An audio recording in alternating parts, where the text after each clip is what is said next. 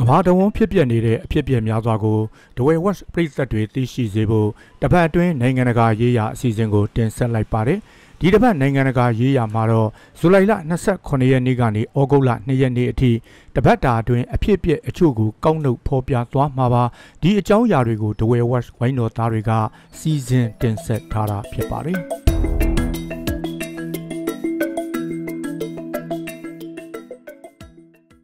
ပြင်သစ်အိုလံပစ်ပြိုင်ပွဲဖွဲ့ပွဲအခမ်းအနားမှာတောင်ကိုရီးယားနိုင်ငံကအားကစားသမားတွေကိုမြောက်ကိုရီးယားလို့မှားယွင်းကြေညာခဲ့ပါတယ်။ပြင်သစ်အိုလံပစ်ပြိုင်ပွဲဖွဲ့ပွဲအခမ်းအနားကိုဇူလိုင်လ26ရက်နေ့ကကျင်းပခဲ့တာပါ။အိုလံပစ်ပြိုင်ပွဲဖွဲ့ပွဲရုပ်သံထုတ်လွှင့်တဲ့အချိန်တောင်ကိုရီးယားအသင်းကိုမိတ်ဆက်တဲ့အခါမှားယွင်းကြေညာခဲ့တာဖြစ်ပါတယ်။ဒါကိုနိုင်ငံတကာအိုလံပစ်ကော်မတီ IOC ကမိတ်ဆက်တဲ့အခါမှားယွင်းကြေညာခဲ့မိတဲ့အတွက်တောင်းပန်ထားပါတယ်။ တောင်ကိုရီးယားအားကစားသမားအဖွဲ့က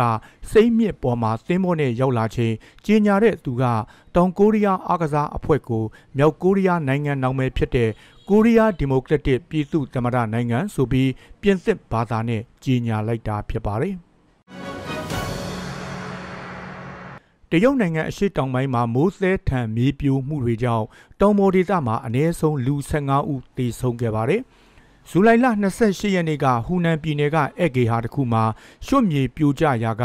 လူ22ဦးပိတ်မိခဲ့တာပါကြံ6ဦးကဒဏ်ရာပြင်းပြင်းထန်ထန်ရရှိခဲ့ပါတယ်တနေ့တည်းမှာမိုးရေချိန်12လက်မှရွာသွန်းခဲ့လို့တောင်ကျရေတွေကြောင့်မြေပြိုမှုတွေဖြစ်လာတယ်လို့ဆိုပါတယ်တရုတ်နိုင်ငံထဲဝင်တိုက်ခဲ့တဲ့ဂါမီမုန်တိုင်းရဲ့ရိုက်ခတ်မှုကြောင့်မိုးသဲထန်ရွာသွန်းမှုတွေဖြစ်လာရတယ်လို့ဆိုထားပါတယ်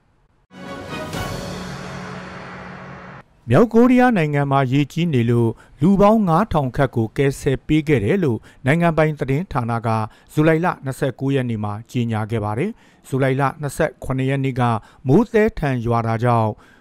မြောက်ကိုရီးယားနဲ့တရုတ်နယ်ခြားသတ်မှတ်ထားတဲ့မြစ်ရေရှမ်းတက်လာခဲ့တာပါ။နိုင်ငံအနောက်မြောက်ပိုင်းကမြို့တွေရဲ့ကယ်ဆယ်ရေးလုပ်ငန်းတွေကိုမြောက်ကိုရီးယားခေါင်းဆောင်ကင်ဂျုံအွန်ကိုတိုင်ကြီးကြပ်ကွပ်ကဲခဲ့တယ်လို့ဆိုပါတယ်။ရေဘေးဒုက္ခရောက်နေသူတွေအတွက်အစားအသောက်နဲ့တခြားလိုအပ်တာတွေထောက်ပံ့ပေးဖို့အနီးကပ်ညွှန်ကြားခဲ့တယ်လို့ဆိုထားပါတယ်။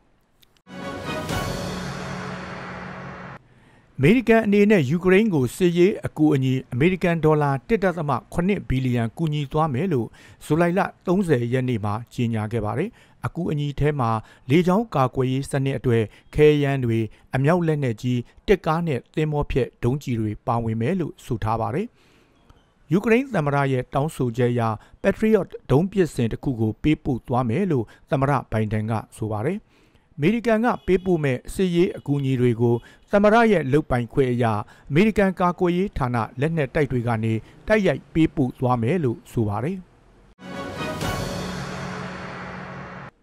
ဇူလိုင်လ28ရက်နေ့ကကျင်းပခဲ့တဲ့ဗင်နီဇွဲလားနိုင်ငံရဲ့ရွေးကောက်ပွဲမှာရွေးကောက်ပွဲရလဒ်နဲ့ပတ်သက်လို့လက်ရှိအာဏာရပါတီနဲ့အတိုက်အခံပါတီကြားပဋိပက္ခဖြစ်နေကြပါတယ်။အစိုးရကထိန်းချုပ်ထားတဲ့ ရွေးကောက်ပွဲကော်မရှင်ကလက်ရှိသမ္မတနီကိုလတ်မာဒူရိုကမဲစုစုပေါင်း51ရာခိုင်နှုန်းနဲ့အနိုင်ရတယ်လို့ကြေညာထားတာပါပြိုင်ဘက်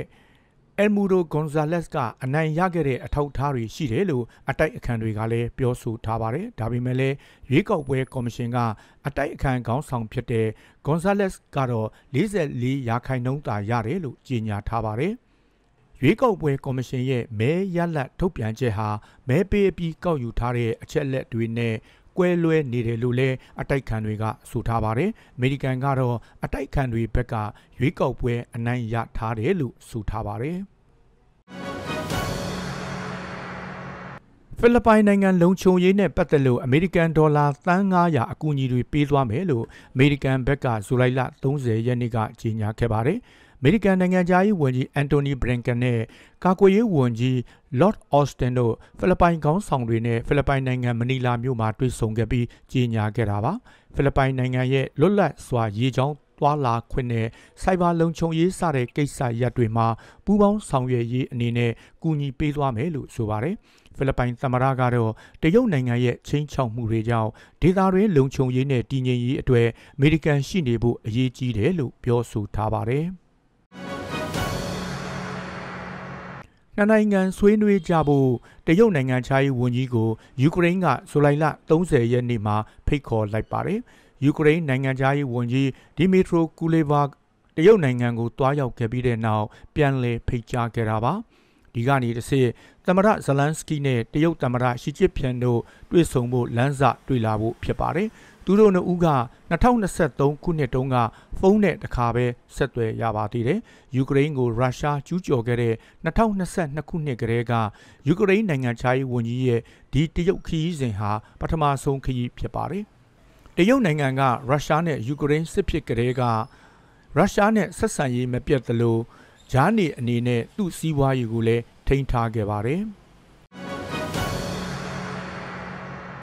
အိန္ဒိယနိုင်ငံတောင်ပိုင်းကလလာပြည်နယ်မှာမိုးကြီးပြီးနောက်ပိုင်းမြေပြိုမှုတွေရက်ဆက်ဖြစ်နေတာကြောင့်အ ਨੇ ဆုံးလူ195ဦးအထိရှိလာခဲ့ပါတယ်။ အပြက်အစည်းတွေနဲ့ရွှတ်တွေကြားပိတ်မိနေတဲ့သူ200ကျော်ကိုလည်းရှာဖွေကယ်တင်နိုင်ဖို့ကြိုးစားနေစေပါမိုးကဇက်တိုက်များနေလို့တောထူတဲ့ကုန်းမြင့်ဒေသတွေမှာကယ်ဆယ်ရေးလုပ်ဖို့ခက်ခဲနေတယ်လို့ဆိုပါတယ်မြေပြိုမှုတွေကကုန်းမြင့်ဒေသရှိကျေးရွာတွေနဲ့လက်ဖက်ချောက်စိုက်ခင်းတွေမှာဖြစ်ပေါ်နေတာပါမိုးကြောင့်ရွှတ်တွေရေတွေဝင်ပြီးမြေပြိုမှုတွေစဖြစ်ခဲ့ပါတယ်မြေအောက်မှာအိမ်တွေပြပြားခဲ့တယ်လို့တရားတွေလည်းပျက်စီးခဲ့ရတယ်လို့သိရပါတယ်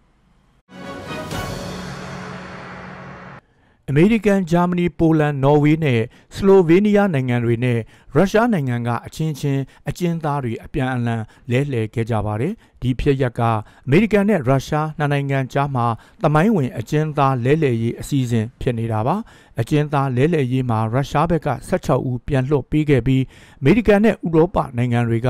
ရုရှားနိုင်ငံသား10ဦးကိုပြန်လွှတ်ပေးခဲ့ပါတယ် ပြန်လွတ်လာသူတွေထဲမှာသတင်းတောက်တွေမရင်းတပ်ဖွဲ့တွေနဲ့အမြဲတမ်းနေထိုင်ခွင့်လက်မှတ်ကင်ဆောင်ထားသူတွေပါဝင်ပါတယ်ဒီရလက်ကလာပေါင်းများစွာအချိန်ချင်းအကျိတ်အနယ်ဆွေးနွေးမှုတွေလုပ်အပြီးမှာရလာခဲ့တဲ့ရလက်ဖြစ်တယ်လို့အမေရိကန်ဘက်ကဆိုပါတယ်